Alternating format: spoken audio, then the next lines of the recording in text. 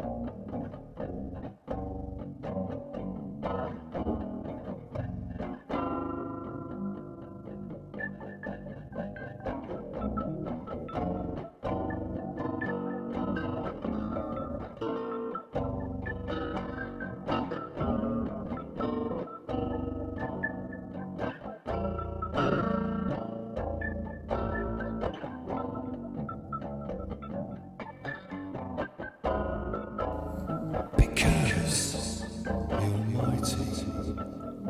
pleased to be six days and created the heavens and the earth and all the things therein, thereon contained and rested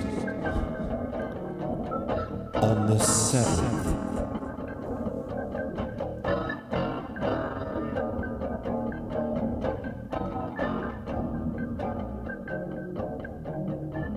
Because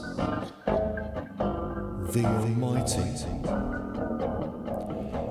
was so pleased to be six days in the creating of the heavens and the earth and all the things therein and thereon contained and rested on the seventh. On the seventh. Mm-hmm.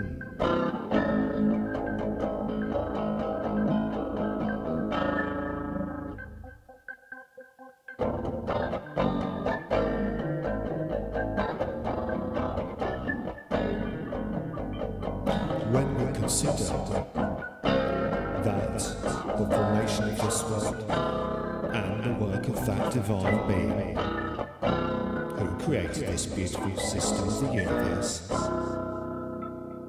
and caused all nature to be under his supreme command.